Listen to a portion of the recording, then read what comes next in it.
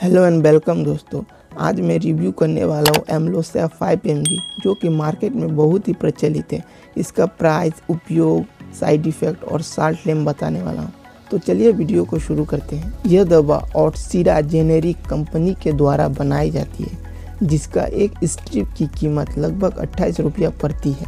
यह समय के अनुसार प्राइस घटते बढ़ते रहते हैं। इसमें मेनली एक ही कंपोजिशन होते हैं एम्लोटिपिन जो बीपी को कंट्रोल करने में उपयोग किया जाता है।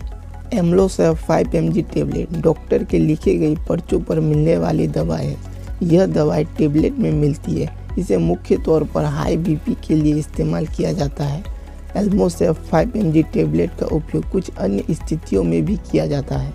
आयु, लिंग और रोगी की पिछली स्वस्थ जानकारी के अनुसार एम्लोसेफ फाइव एम टेबलेट की खुराक दी जाती है। यह खुराक मरीज़ की परेशानी और दवा देने के तरीकों पर भी निर्भर करता है। विस्तार पूर्वक जानने के लिए खुराक वाले भाग पर पढ़ें कुछ मामलों में एम्लोसो फाइव एम टेबलेट के कुछ अन्य साइड इफ़ेक्ट भी देखे जा सकते हैं, जैसे इसकी में रेशियो आना, पेट दर्द करना, सिर दर्द करना, थकान महसूस होना इत्यादि शामिल है। एम्लोसो फाइव एम टेबलेट के यह दुष्प्रभाव आमतौर पर स्थानीय नहीं होते हैं। और इलाज के पूरा होने पर समाप्त हो जाते हैं। हालाँकि अगर ये समस्या लंबे समय तक बनी रही तो तुरंत अपने डॉक्टर से संपर्क करें।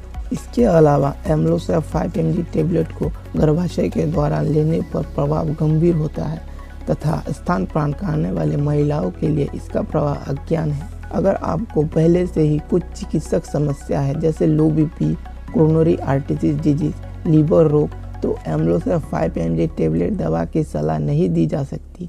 इससे दुष्प्रभाव हो सकते हैं। इसीलिए आप एम्लोसेक फाइव एम टेबलेट को ना लें। पर दी गई सावधानियों के अलावा यह भी जानना आवश्यक है कि गाड़ी चलाते समय एम्लोसेक फाइव एम टेबलेट लेना सुरक्षित है और इसकी लत लग सकती है।